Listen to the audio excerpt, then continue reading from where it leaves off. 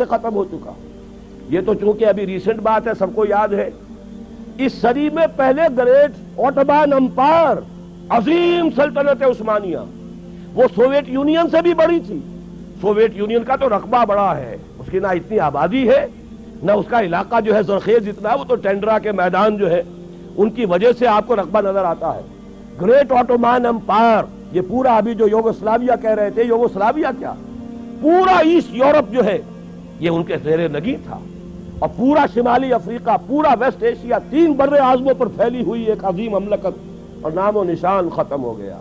ترکی نام کا چھوٹا سا ملک رہ گیا۔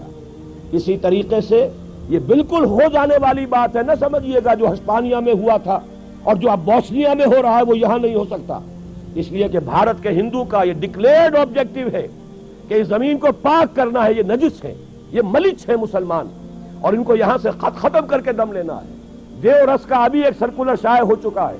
تمام ہندو سماجی سیاسی تنظیموں کو اس نے یہ لیٹر بھیجا ہے سرکولر بھیجا ہے کہ اب وقت آ گیا ہے کہ ہم کمر کس لیں کہ بھارت کی پاک سرزمین کو مسلمانوں کی نجاست سے ہمیں پاک کرنا ہے۔ اور میں آپ کو یقین دلاتا ہوں، کچھ تھوڑا سا رد عمل پاکستان اور بنگلہ دیش میں تو ہوگا۔ باقی پوری مسلم ورلڈ میں کوئی رد عمل نہیں ہوگا۔ میں گارنٹی آئی سٹینڈ گارنٹی کہیں سے کوئی رد عمل نہیں ہوگا۔ اس لیے کہ ایودھیا کی مسجد پہ انہوں نے دیکھ لیا۔ ہم نے بھی جو رد عمل کیا ہے، وہ کوئی صحیح رد عمل تو نہیں تھا۔ ہم نے مندر گرا دیا، کیا کیا؟ کیا حاصل ہوا؟ بدنامی دنیا میں مول لے لی، دینی اعتبار سے بھی غلط اور دنیاوی اعتبار سے بھی غلط۔ فائدہ کچھ نہیں، نقصان ہی نقصان۔ لیکن یہ کہ بنگلہ دیش میں ہو گیا، پاکستان میں ہو گیا، باقی پوری دنیا میں کسی نے یہ بھی نہیں کہا کہ یہ دوبارہ مسجد بن جانی چاہیے، ورنہ ہم اپنے تجارتی تعلقات ختم کر لیں گے۔ سفارتی تو بہت دور کی بات ہے، کوئی الٹیمیٹم وار تو بہت دور کی بات ہے۔ تجارتی تعلقات ختم کرنے کی بھی کسی ایک مسلمان ملک میں دھمکی نہیں۔ دی تو انہوں نے نفس دیکھ لی ہے کہ غیرت نام تھا جس کا گئی تیمور کے گھر سے۔ اور اگر بھارت میں یہ کچھ ہو گیا، تو آپ یہ جان لیجیے، بھارت کے جو عزائم ہیں، میں نے یہ چیزیں لکھی ہیں، پچھلی جمعے کو چھپ چکی ہیں۔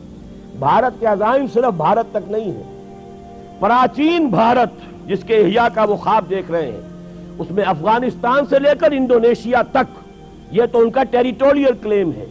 جیسے گریٹر اسرائیل کا کلیم آپ کو معلوم ہے، اور جو گریٹر انڈیا ہے مہا بھارت مہا بھارت افغانستان سمیت افغانستان سے شروع ہو کر، اور اور انڈونیشیا انڈونیشیا، یہ تو انڈیا اس کے نام کا جز ہے۔ اس اعتبار سے یہ تو ٹیریٹوریل ایسپریشنز ہیں۔ جہاں تک ان کا تجارتی اور معاشی دباؤ ہے، وہ ایران اور عرب کو بھی اپنا حصہ سمجھتے ہیں زون آف انفلوئنس سمجھتے ہیں۔ اور یہ زون آف انفلوئنس اب تقسیم ہوگا اسرائیل میں اور بھارت کے درمیان۔ ان کا گٹھ جوڑ جس تیزی سے بڑھ رہا ہے، وہ آپ کے علم میں ہے۔ اور جس طریقے سے اسرائیل کا ابھی بیان آ گیا، وزیر اعظم کا، اسحاق ریبین کا، کہ یہ جو ہے کشمیر کا جہاد بھی ہو سکتا ہے، کامیاب ہو جائے، وقت پر اب اپنی ہمت جو ہے، اس کو پورے طریقے سے کمر ہمت کس لو۔ اور مسلم فنڈامنٹلزم کو ختم کرنے کے لیے ہم سب کو جو ہے we should join hands to finish up with this Muslim fundamentalism یہ سب کچھ ہو رہا ہے، یہ حالات ہے تو میں آپ سے عرض کر دینا چاہتا ہوں، ان حالات میں کوئی تبدیلی نہیں آ سکتی۔ بات صحیح کہی ہے اور یہی میرا موقف بھی رہا ہے۔